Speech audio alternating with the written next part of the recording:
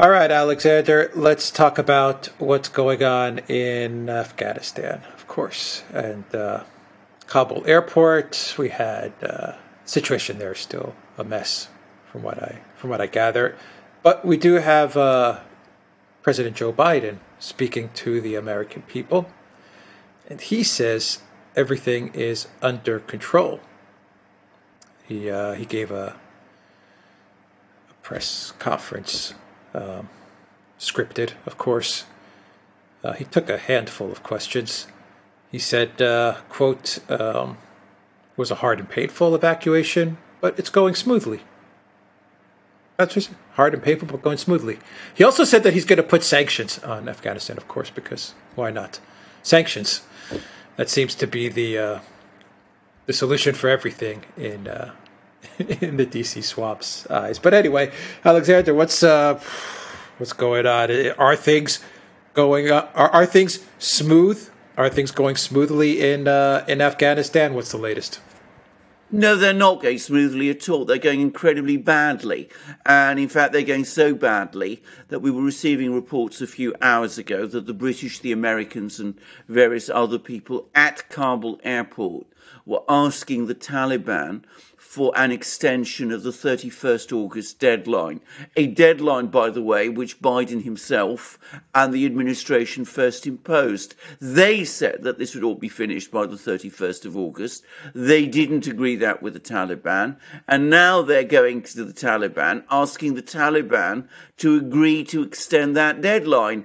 And literally, uh, a minute before we started this program, I got the news on the BBC that the Taliban are refusing to extend the deadline. So why ask the Taliban to extend the deadline if things are going well?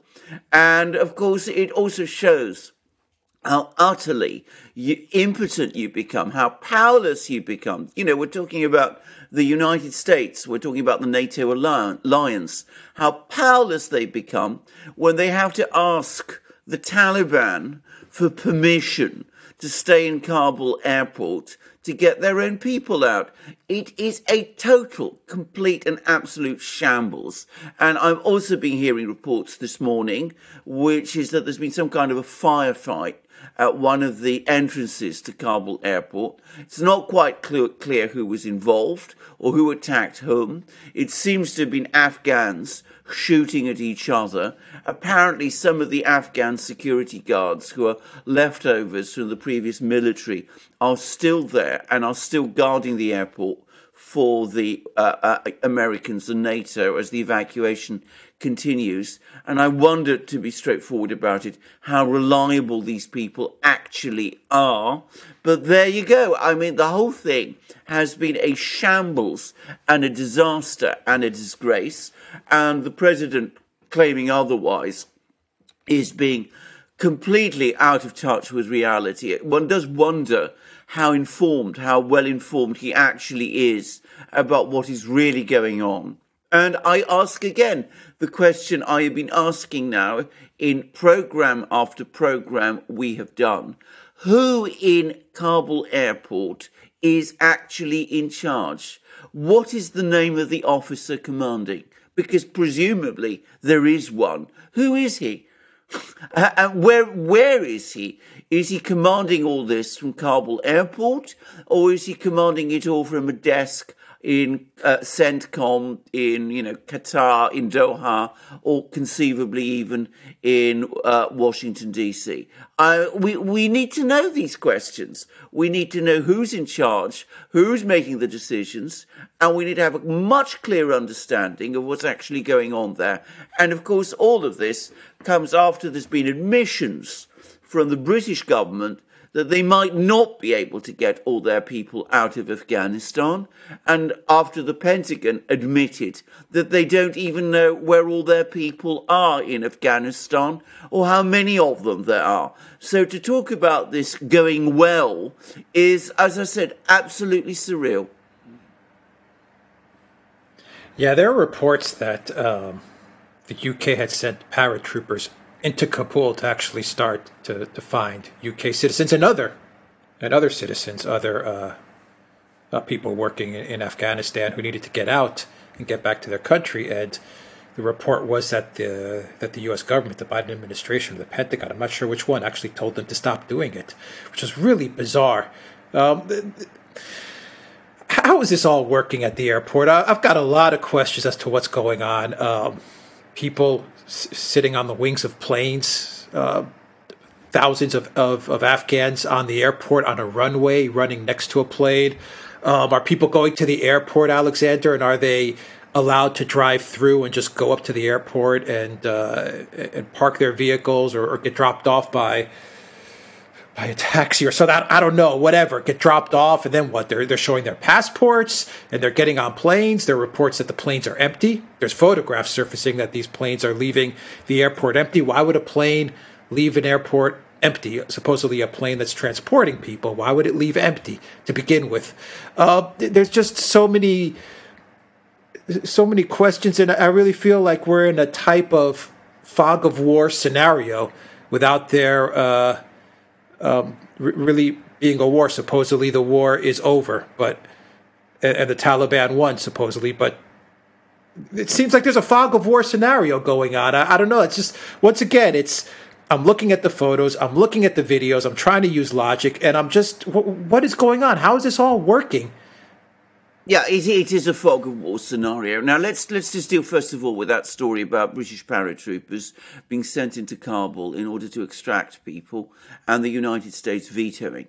The reason that I mean, first of all, it's important to say that this this story, this information, which I am sure is true, uh, has only circulated informally. There's been no advi- uh, no confirmation from the British Ministry of Defence or from the Pentagon or from the administration that that happened, but it's been so widely reported, at, this, at least in the British media, that I have no doubt about its truth. Now, the British wanted to send their paratroopers into Kabul. I think sending British paratroopers into Kabul by themselves with the Taliban there was an invitation, frankly, to a battle. I think the Americans, the administration, decided that if the British did go into Kabul, there would almost certainly be some kind of a firefight. And the Americans didn't want to have to send their people into Kabul to rescue the British. This has happened twice before. It happened in Basra when the British uh, uh, in Iraq were fighting the Iraqis and the Americans had to come to their rescue then. And it happened in Helmand province in Afghanistan somewhat later, between 2006 2009. And again, the British uh, got themselves into trouble. And again, the United States military had to go in to extricate them. So I think this is what we're seeing. We're seeing the British under enormous pressure domestically uh, because they the British have taken this defeat and they are calling it straightforwardly here a defeat extremely badly. And there's a lot of political pressure on the government to be seen to be taking strong action. And the Americans, who are determined to get out with as little harm and damage to themselves as possible, do not want to get drawn into a battle in Kabul itself because the British are there and the British have got themselves into trouble. And I'm pretty sure that there are some people in Washington also who may think that the British are going, wanted to go into Kabul precisely in order to get the Americans to intervene in Kabul, precisely in order, perhaps, even at this very late moment, to get this entire withdrawal reversed. So I, I, I think there's a lot going on, and I wasn't surprised that the um, US vetoed it. And I have to say, I think the decision to send British paratroopers into Kabul in that kind of way would would have been a complete act of folly. Now, in every other respect, all the other points you're making are absolutely valid and true. I'm also hearing that a lot of those planes are leaving empty. I'm also hearing that a lot of the people who are ending up in Kabul airport are people who are from, you know, just ordinary Afghans. You know, they may not want to live under the Taliban, but the American and the British and the German troops who are there have no particular reason to want to help them. They are there first and foremost to help their own citizens, or so they say, and other people who worked with the American uh, uh, and NATO forces in Afghanistan and who might therefore be subject to reprisal. So there's massive confusion about who is there. And the people who are going to Kabul airport have to pass Taliban checkpoints. The Taliban are able to check who goes in. The Taliban, to a great extent, are controlling this entire process. And the extent to which any of these people have papers is debatable. And of course, the extent to which there's any biometric de- data that can be used in substitution for papers is debatable also, given that apparently a lot of the databases storing the, di- the biometric t- data were left behind in Kabul itself. So it is a complete mess. It's a disaster. Nobody knows what's going on. Nobody has any idea who many of these people are. There's no discipline or control on the runways, or very little, and no, uh, uh, no real uh, sense of anyone in charge. Why doesn't the uh, Biden administration, in coordination with uh, with other countries that have citizens in Afghanistan, why don't they? communicate with the Taliban and the Taliban leaders and open up some uh, corridors to the airport. And they're the ones that are checking uh, people's documents because if it, we know now the Taliban is controlling the, uh, the, the situation on the ground, that's the way it appears, and so they're controlling uh, the people that are going in and out from the airport. Why why would you want the Taliban checking people's documents and their passports? to, to enter the airport. That doesn't make any sense at all. If anything, if Biden wanted to show, the Biden White House wanted to show that they have everything under control, then they would get CNN and MSNBC and their media stooges there, New York Times, Washington Post.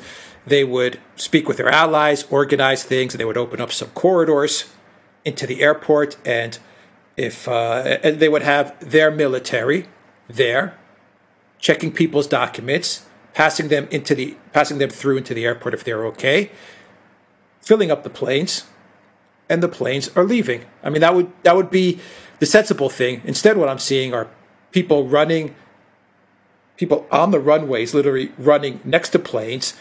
I'm seeing Taliban military controlling who comes in and out of the airports, which suggests that it's the Taliban that are looking at people's documents and their passports and judging where whether they're American or British or French or whatever, and passing them through.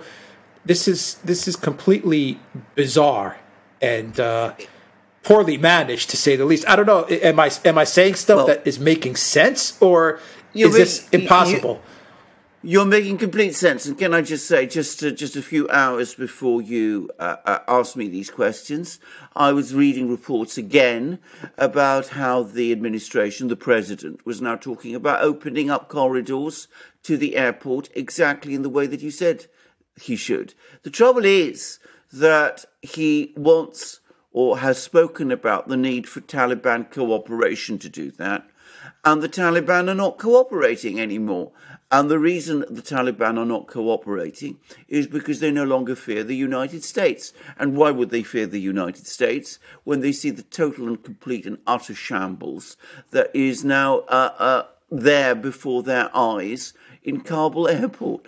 They no longer have any reason to make concessions or to make agreements about corridors, extensions, and anything like that. Because from their point of view, they've won the United States is retreating, and the United States is retreating in disgrace.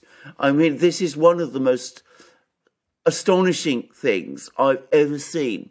And whether the United States, whether the administration can get a grip on the situation now, whether whether they're prepared to push the Taliban aside, open those corridors themselves, send more troops into Afghanistan, make the kind of threats to the Taliban in return for Taliban cooperation, which they ought arguably to be making. And you know, I'm, I'm a peaceful man. I don't believe in threats and belligerency as a general rule, but sometimes, sometimes when you have to extricate your people, things like that have to be done. That's not to say that you know want to go back into Afghanistan. It's all about carrying out a proper, orderly, organized evacuation. But they're not doing any of those things.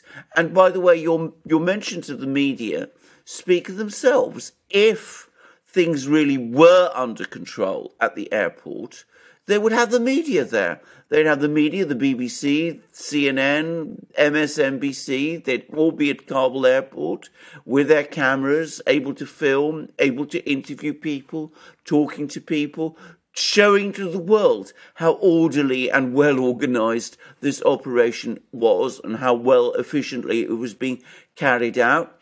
And we would know the name of the officer in charge, and he no doubt would be setting aside part of his day not a long part of his day, but some part of his day to answer questions. Because answering questions and communicating people, as we all know, those of us who've done it, is an essential part of sound management. The fact that none of those things are happening suggests to me that nobody's in charge, nobody's really in charge in Kabul and what you're getting is that nobody is getting a grip on the situation because nobody wants to come close and be involved in what is clearly looking like a debacle. So they're running away, they're keeping away from this disaster, and in the meantime, things just go, go on getting, going from bad to worse. No, Biden is lying. Straight out, he's lying. When he gets in front of the American people and says things are going smoothly, he's lying. But well, th- yeah, that's how I pictured it. That's how I pictured it. You know, the, the the stooge media next to next to these checkpoints, and I could see the CNN uh, operative sitting there and saying, "Look, everything is orderly. Here is." Uh, um, lieutenant, major general, whatever. Um, John Smith checking the passports of people coming in. Here's the corridor. The camera showing the corridor. There's the airport over there. And as you as guys could see, as the president said, everything's going smoothly. We don't have that. We don't have any of that. Instead, what we have are social media videos and I don't even know if I can believe those videos. I, I, don't know. I just don't know what the hell's going on. And this is what I mean by the fog of war. So the Taliban doesn't uh, doesn't want to cooperate with the United States. You say they don't fear the United States. Uh, maybe if Biden would have jumped on this seven days ago and talked to the Taliban and negotiated with the Taliban, anticipating that they would have a bottleneck at the airport because they're the dummies that closed down the other airport in Bagram, then maybe the Taliban would have already had uh, uh, corridors opened for the American uh, personnel, the UK personnel, whatever, to, to get through to the airport and get on a plane and leave, and the situation would have been solved. But they delayed. Okay, fine. Absolutely. So now they're in. Now they're in this mess. They've delayed everything. Now you say Biden is saying they're coordinating, they're trying to coordinate with the Taliban in order to get corridors, but the Taliban's ignoring them. So then maybe the Biden administration should talk to the one country that actually has um, a line with the Taliban. Maybe two countries, maybe Pakistan is another one, but maybe they should be speaking with the Russians. But then again, you come back to the fact that the Biden White House is going to have to give concessions to the Russians in order for the Russians to put some pressure on the Taliban. And then you come back and you say, well, maybe you idiot Biden and you dumb ass script writers of Biden and Mr. Stephanopoulos, you shouldn't have called Putin a killer way back when or kept on calling them thugs or passed sanctions on Russia for which you passed sanctions just the other day on Nord Stream again. Again, you need the Russians' help, but you passed sanctions on Nord Stream literally two days ago. So what the what the f? What the f? Well, you're, you, well, you're absolutely right. Well, let let let let let's. That was let's a bit of a rant, but I mean, the whole thing's well, just a complete it, mess. It, it, it's it's not a rant. It's an absolutely meaningful one. And can I make one first point before I deal with your other points, which is that you were the absolute first person that I know of, the absolute first person I know of to mention the stupidity of abandoning Bagram first and getting yourself into this mess in Kabul airport. Now it's all over the media. Clearly, they all follow us at the Duran because now everybody is asking that very same question that you asked. Was it a week ago, two weeks ago? I'm, you know, I, am when, they, when, when they first when they first closed the airport in July. We exactly, talked about it in exactly, a video. Exactly. We exactly. talked about it. we said. We talked. I remember it, we were we were sitting there looking at each other, saying, "This is really yeah. weird." Yeah, yeah, absolutely. I mean, just saying that because, as I said, I mean, you know, if we don't mention the point that we said it first, who else is going to? So, I mean, I think in justice and in fairness, I, I, I think that needs to be said. But no, absolutely, what they should have done when it looked as if Kabul was going to fall is that somebody senior Kamala Harris, the Vice President, Antony Blinken, uh, the Secretary of State, Jake Sullivan, you know, the National Security Advisor. Well, obviously, all of these people, we know what they really are. But I mean, you know, if if, if this had been a jointed, uh, a joined up administration, someone senior, maybe the Defense Secretary, maybe the Secretary of State, maybe the National Security Advisor, would have gone to Kabul, spoken with both the Afghan government representatives, the ones of the the Afghan government representatives who were losing power, and also with the Taliban, and come to some kind of formal, proper agreement to organize this withdrawal. I mean, that should have been, by the way, an actual agreement, not a, not a case of, you know, coming along afterwards and saying, please, please, Mr. Taliban, can we have another two week extension on all of this? I mean, you know, th- th- that's what you do. I mean, that's, if you're, if you're a superpower, if you are a serious government, that is what you do. Notice that none of these people that we're talking about, Kamala Harris, Lloyd Austin, Antony Blinken, Jake Sullivan, have gone anywhere close to Kabul. None of them are going there. None of them are coming and uh, and taking control of the situation and are speaking to any of the people there, are direct, are in direct touch with the Taliban or, or, or, or with anyone else on the ground, or are even showing any interest, any real interest in finding out what is going on on the ground. And as I said, we don't still know, at least I don't know, who is the person who is in actual charge of the operation at the moment at Kabul airport or what the rank of that person is. Now, as to talking to the Russians, and you're right, it would have to be the Russians because though the Chinese have an embassy in Kabul, uh, they don't really seem to be directly in touch with the Taliban in Kabul itself. And Pakistan is in a position to do lots of things uh, uh, at various times. But it's quite clear that it's the Russians at the moment who have been doing most of the running in the negotiations with the Taliban. Well, of course, one should be speaking to them. I mean, that is almost, shall I say, a um, obligation at a moment like this that you talk to the people who actually have leverage over the Taliban because the Taliban are very keen to get the Russians and the Chinese on side because they need the at least the acquiescence of the Russians and the Chinese if they're going to stabilize Afghanistan and consolidate their government. So you talk to the people who have actual leverage over the Taliban, which is the Russians and to a lesser extent at this moment, the Pakistanis, and do what you can with the Russians and the Pakistanis to try to get the Taliban to cooperate. And of course, you don't just do that, you have the you know the velvet glove of diplomacy you have the mailed fist also. You make you make the necessary threats. You tell people, you know, look, if you don't cooperate, we are the United States. We have all the means that we need. We can take action and will take action to protect our citizens. We don't want to do that. We want an orderly, structured withdrawal. We need your cooperation. Uh, uh, the Russians are there. The Pakistanis are there. Maybe the Chinese to a certain extent also, and we can do it, we can organize it, and they can mediate it, and they can supervise it for us. That's what you do. They're not doing that. They don't want to talk to the Russians because that would be altogether too humiliating.